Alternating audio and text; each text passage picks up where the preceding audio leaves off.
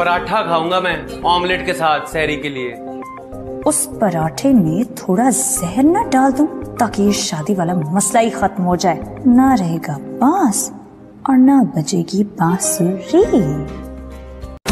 हमारी फ़िल्म में काम करेंगे? करूँगा ना मगर मेरी एक शर्त है। मैं विलन से मार नहीं खाऊँगा। वो कहावत सुनी होगी ना आपने कि राजा का बेटा भले ही नंगा पैदा हो मगर होता वो राजकुमारी है। प्लीज़ ज़्यादा क्यूट बनने की कोशिश मत करो। I don't like you. हट झूठी अरे इसमें झूठ क्या है? सची तो कहा मैंने? हाँ? तुम क्या जानो प्यार किसे कहते हैं? थोड़ी देर के लिए गायब हो गई थी ना तुम? थोड़े बेवफा क्या हुए? आप तो बच्चलन हो गए। घबराइए मत। हम यहाँ सिर्फ़ आपकी दुल्हन देखने आए हैं। कौन है वो जिसने चार हफ्तों में वो कर दिखाया जो हम चार साल में ना कर सके?